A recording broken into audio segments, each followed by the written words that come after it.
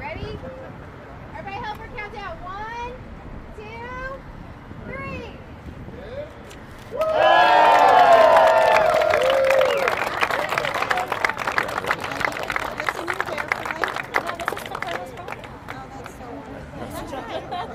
As of the end of this year, over 50% of our restaurants will look like some semblance of our American Showman, which is what this restaurant looks like. Although this is a very, very special restaurant. Um, it has got finishes and custom lights that you don't see in any other KFC in the entire country. It's got our state-of-the-art technology package, which means digital menu boards both inside, and it's the only KFC in the U.S. that has digital menu boards on the outside of the restaurant.